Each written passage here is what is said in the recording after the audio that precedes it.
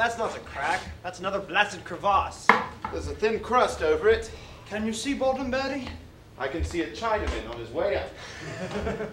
There's only one thing for it. Go back 200 miles and turn starboard instead of port. Build a bridge of ice. Wait for the spring thaw, except there isn't any. Thank you. No, I mean we'll have to unload again. Unload? You're off your chunk. Only we English could so believe in an idea. Nothing like the army, is it, Titus? Cavalry, not army.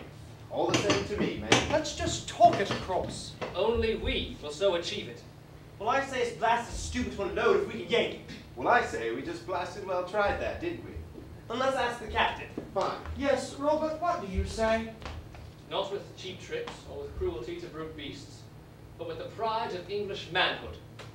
Robert, did you hear me?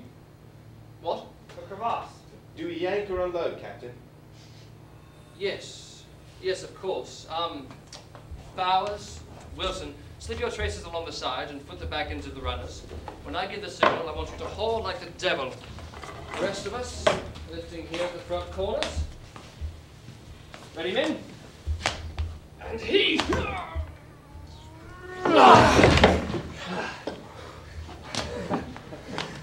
There, Bowers. You see how simple that was?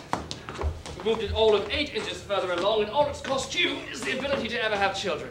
If you're referring to that ungodly popping noise, that was Mr. Oates, thank you. Uh, My last one blew a couple hundred miles back.